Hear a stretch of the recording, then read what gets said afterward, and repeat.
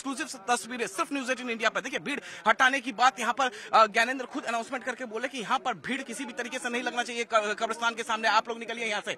और जहाँ जहाँ भीड़ लग रही है हमने आपको पहले भी बताया था कि उत्तर प्रदेश पुलिस के जवान जो है चप्पे चप्पे पर तैनात है। ये सभी जवान लॉ एंड ऑर्डर को मेंटेन रखना चाहते हैं चाहते हैं कि जल्द से जल्द शांति व्यवस्था यहाँ पर बनी रहे। और मुख्तार अंसारी जो है वो सुपुर्द खाक में वो हो जाए सुपुर्द खाक हो जाए। देखिए अ, एक बार क्लोज शॉट दिखाइए। एसपी एसपी गाजीपुर की क्लोज शॉट दिखाइए एसपी गाजीपुर का किस तरीके से अनाउंसमेंट गेट खुल चुका है, कब्रिस्तान का गेट खुल चुका है और देखिए किस तरीके से कुछ लोगों को परमिशन दिया गया था, लेकिन बहुत लोग अंदर जाने की कोशिश कर रहे थे। सपना गेट खुला गेट ज़बरदस्ती बंद किया गया। अब पुलिस के जवान वो लोग जो ज़बरदस्ती कब्रिस्तान में घुसना चाहे, उन्हें किस तरीके से यहाँ से निकाला जा रहा है? देखिए यहाँ पर तस्वीरें एक्सक्लूसिव तस्वीरें सपना न्यूज़ एटीन इंडिया पे, पुलिस चप्पे चप्पे पर तैनात है। हर किसी को कह रही है कि यहाँ से जाइए। महज पंद्रह से बीस मिनट का वक्त बचा है। महज पंद्रह से बीस मिनट का वक्त बचा है।